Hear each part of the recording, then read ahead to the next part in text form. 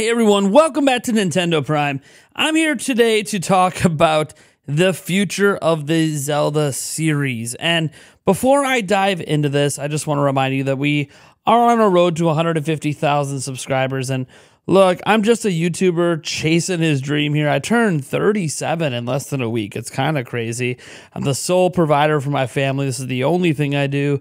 And I'm just really, really happy in my life. So I would appreciate if you would just subscribe to the channel to help me chase my dream, help me uh, inspire the children, inspire other uh, you know younger content creators out there or even older content creators than me to not give up on their dreams because that's what this YouTube thing is. Now, that being said, let's talk about the future of Zelda because I'm going to be pretty frank and honest with you guys on this. I love Tears of the Kingdom. It is my favorite Zelda game of all time. It might not be your favorite game. Maybe you're done playing it. Maybe you liked Breath of the Wild more. Maybe you're more of an Ocarina of Time guy or an A Link to the Past or I don't know. Whatever Zelda game's your favorite. Majora's Mask, The Wind Waker. Look, we all have our favorite Zelda games out there and our own personal top fives, top threes, or I guess if you've only played two, top two. But the point is that the future of Zelda is, well, it's a bit bleak. Now, when I say it's bleak, I don't mean Zelda's in trouble. Of course it's not. But when we're talking about when the next Zelda game could come, it's going to be a while. Now, if we look at the development cycle of the last two Zelda games, we know they took a, took a while, right? Like five years, six plus years. And the next time a new Zelda game comes out, at least a new mainline Zelda game, it's probably going to end up being a while. Now, there is one caveat to this one one little chink in the armor. Nintendo could give us a top down Zelda game, maybe made by Grezzo or some other studio. And a top down Zelda game is yes, a mainline Zelda game. So that is the wrench in this whole thing that could end up happening sometime in the next couple of years. And then we're really not waiting that long for the next Zelda. But if we're not going to get a top down Zelda, if we presume that it's possible it might not happen, and Nintendo might stick with the remaster and remake route where we get the Wind Waker and Twilight Princess HD. Maybe we eventually get the Oracle of Seasons and Ages and the Minish Cap. Maybe a Link to the Past comes back.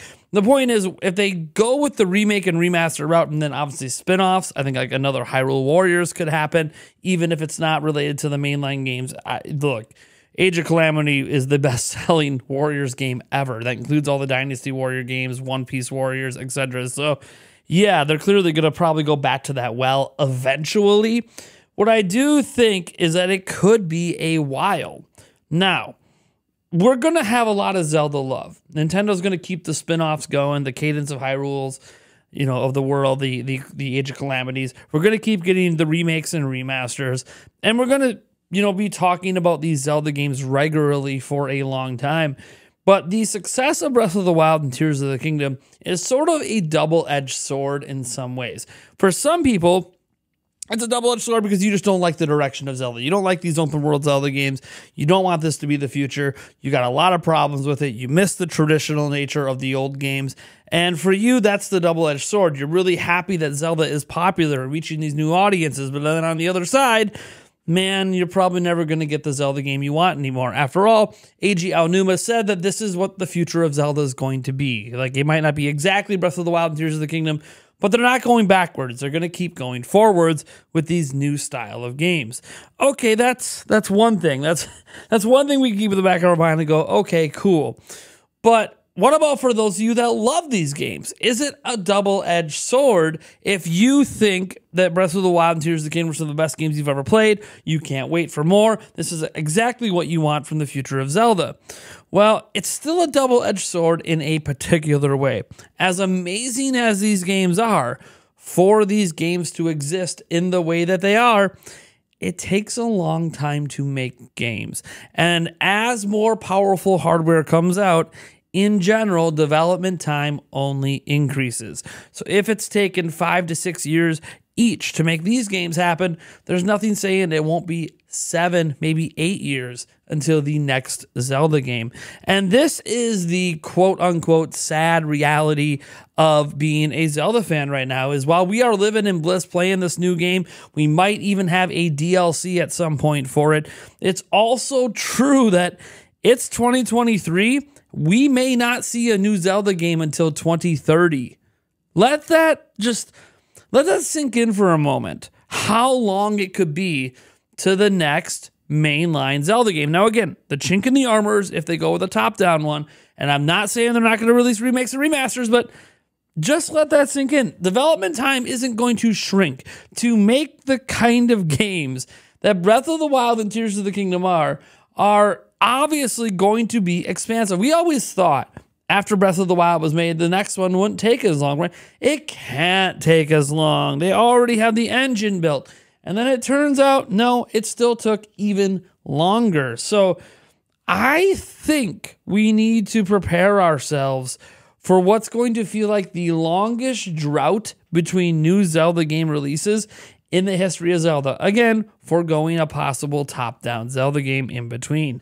Now, maybe that's crazy. Maybe that sounds wild to you, but we have to think logically about this from Nintendo's perspective. They've done the remakes and remasters. They've dropped Link's Awakening, right? They, they did that as a remake. They did the Skyward Sword HD, and neither one of those games really sold, you know, extremely well. They did fine, four or five million in sales each, and that's not bad. But then you look at Breath of the Wild at 30 million. You look at Tears of the Kingdom, which is likely already at 15 million, and you wonder to yourselves, well, okay, why would Nintendo not want to release more Zelda games more often? And it's because of sales. If you know you can drop a new Zelda game in 2030 and have it sell 20 to 30 million copies, I mean, that's like releasing four Zelda games in the past. I mean, let's just be honest. Not every game did 8 million you know, like like say Twilight Princess, and even then that would still be three plus Zelda game releases to hit 30 million. So if Nintendo knows they can garner with with these kind of Zelda games, these sort of massive sales, Zelda's going to slowly become not only a once per generation game, there might be future generations that get skipped. I mean, let's think about this. If we presume the next Zelda game comes in 2030, uh, what platform is it on? Is it going to be Switch 2 or are we already moving on from Switch 2 to whatever's next after that? Like that that that sounds impossible, but what if it happens and we, we have to consider now that Zelda is in this precarious position where we may one, never see it launch a system again. Based on current development cycles, it's always going to drop towards the end of a console generation at this point. And number two, that Zelda games are just going to take even longer. I look at myself, right? And this is something that that comes up every time I get close to my birthday and I start to think, "Man, what if it does take 7 years to get the next Zelda game?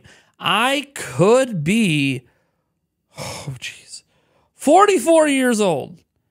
When I mean, I'm in my I'm in my, my, my mid to late 30s here, 30, you know, turning 37 here in a week and I eh, look 40, 44. The next Zelda game after that might not drop till I'm 51, then 58, then God willing, I'm still alive at 65. It's like uh, there's there's only like a handful more potential new Zelda games in my lifetime, and that is that that is crazy. And that's sort of what I mean by the double edged sword. Is I've been playing Zelda games my entire life, 36 years basically, and in that time, you know, I, there's almost a Zelda game for every other year of my life, which is insane. That's how many Zelda games we've had. There, there have been so many Zelda games, but now that cadence of release is going to be much less. And I, I have to look internally and decide for myself if I actually like that.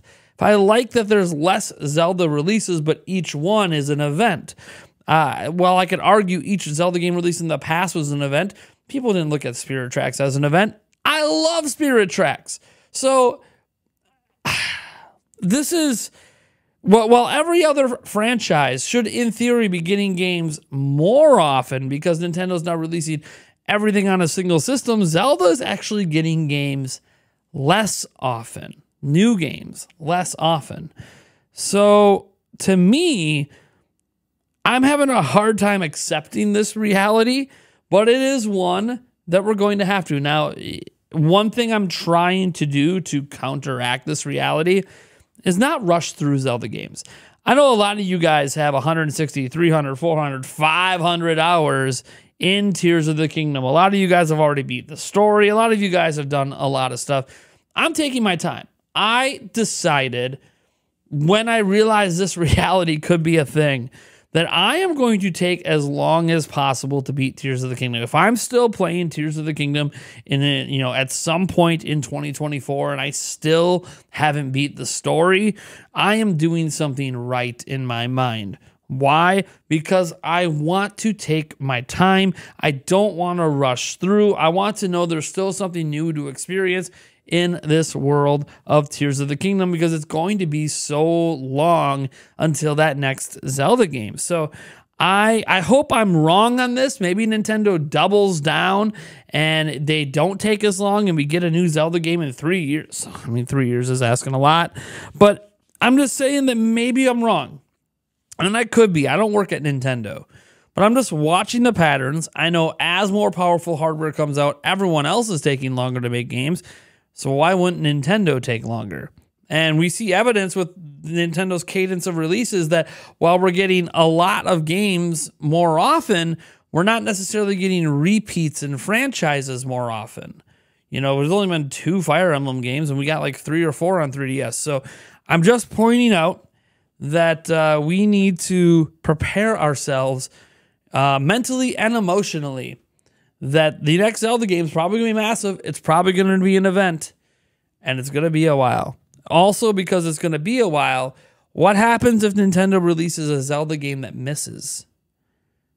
That could be 14 to 20 years between successful Zelda games.